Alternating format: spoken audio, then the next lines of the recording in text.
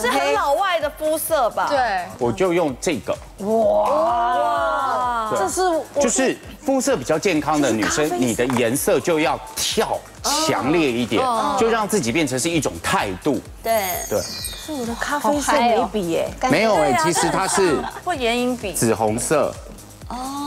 哪有就咖啡色啊？老师他已经有天生的唇边，还是要帮他描，是不是？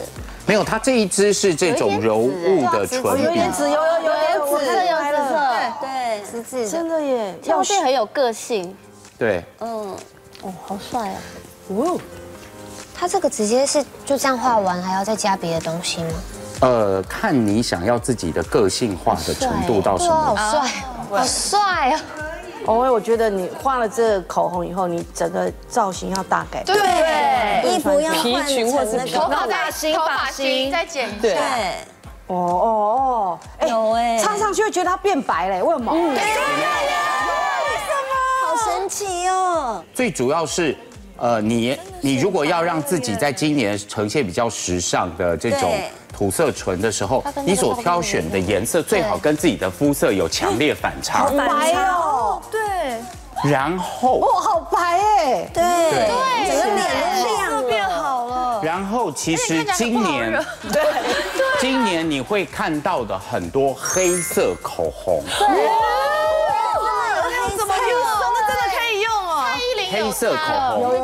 如果你家里面没有土色唇，你，不想要多买一支的话，嘿，买黑色？就买黑色，去黑色，真的假的？对对对，所有的颜色，你看哦，我现在放一点点黑色上去，哦，对呀，这是真的本来黑色。真的假的啦？真心这种粉嫩的颜色，你看哦，嗯，粉粉嫩嫩的，对不对？对，好，你看，如果我先把嘴唇上了一层黑色的，对，因为我刚才说所有的土色唇就是加灰，对不对？你看哦，我再把刚才的这个颜色拍到我的，黑色，真的，怎样？你看它就变土色唇了。所以你就看你压的层次多少，可以自己它就变成不一样的颜色。但是哪一个色要先？黑黑。黑黑黑薄薄的打底，或者是现在有品牌，它直接就推出了调色。你看哦，哦。好难哦。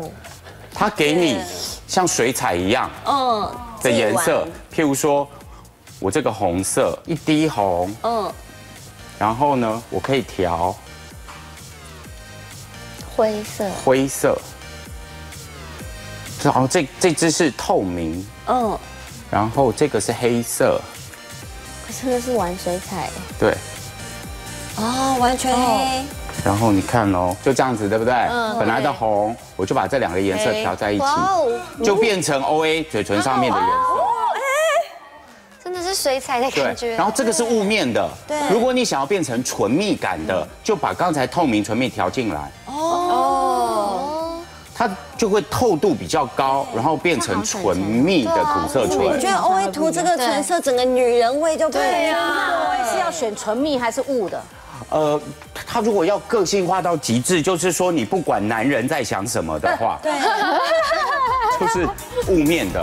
然后呢，哦哇，好帅哦！帅哦，铆钉，不能惹哎。